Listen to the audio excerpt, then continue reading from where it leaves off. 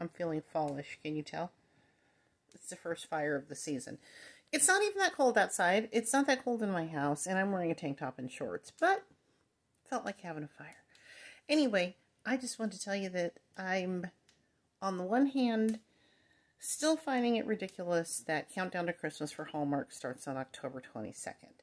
On the other hand, I fully intend to buy into the situation and try to keep up with all of these holiday movies.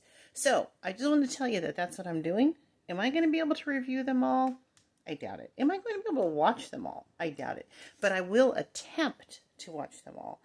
I'm going to have to make a rule about how far I'm going to get into a movie before I give up on it. I don't know what that rule is yet, but I'm going to try to watch them all. And if you would like to watch them all and keep up with that, I discovered that um, you can get a Hallmark app, which I already knew you could get a Hallmark app. I had it on my phone, but I took it off my phone. But I put it back on my phone since it's countdown to Christmas. And if you like, you can even automatically have them put the premiere dates of all, I think it's 31 movies between Hallmark Channel and Hallmark Movies and Mysteries Channel that will be coming out this year directly to your phone's calendar. So I did that. Do I need that? No. Is it fun? Sure. Anyway, um, yeah, I'm excited about it. I am watching You, Me, and the Christmas Trees now. That's uh came on Friday. I put that on the DVR.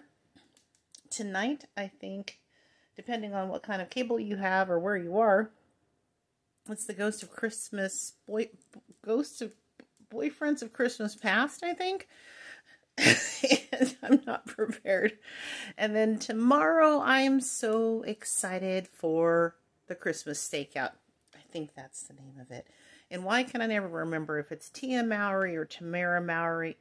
That's Tamera Mowry. That's the one who's in the Hallmark movies. But it's the one that's in the Hallmark movies from Sister Sister and Paul Campbell. And I just had on uh, Surprised by Love the other day as background while I was doing stuff, and I love that Paul Campbell movie. That might be my favorite Paul Campbell movie. Him and Hilarie. He, it's Paul Campbell and Hilarie Burton. That movie's a delight. If you haven't seen it, please go check that out. Uh, yeah, so that's what I'm gonna do, and uh, I'll I'm literally going to try to watch these movies it's like a second job. Like I already have a 40 hour a week job that is actually more like 48 to 54 hours at least right now. Um, but I'm still going to try to watch all these movies. So wish me luck and I hope you enjoy them. Bye.